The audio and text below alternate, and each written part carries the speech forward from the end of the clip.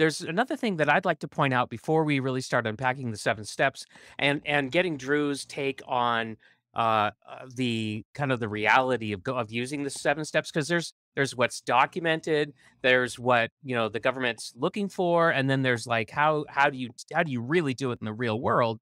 Uh, but the, the other thing I want to say that I think is really important and helpful to understand RMF is that it it's based on a life cycle development process. Like that seems to be the major lens through which uh, RMF uh, describes what needs to be done. And I like to compare and contrast that to the NIST cybersecurity framework because some people uh, uh, seem to have this idea that that they're just sort of like synonymous with each other.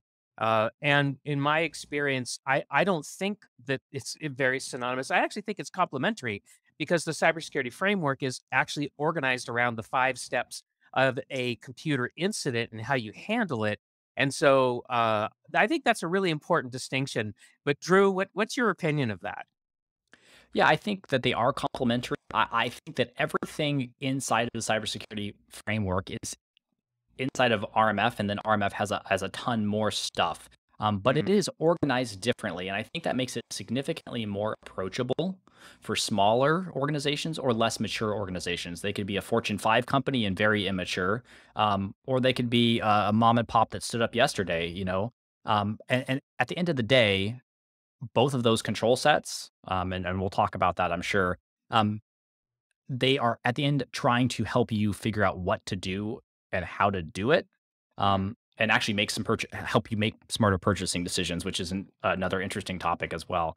Um, and so overall, um, I think no matter how you approach it, either from the RMF side or from the cybersecurity um, framework side, um, you're getting the same goodness um, really coming out of NIST uh, and the experts there.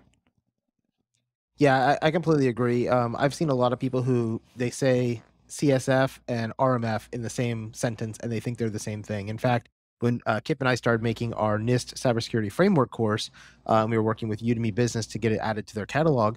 They were actually asking for a NIST cybersecurity framework and RMF course, and we're like, whoa, whoa, whoa, whoa, that's not the same thing. Let's do one, and then you know, if you want the other one, we'll make the other one too. And and we are. We're currently making an RMF course to go through how you actually do this in the real world.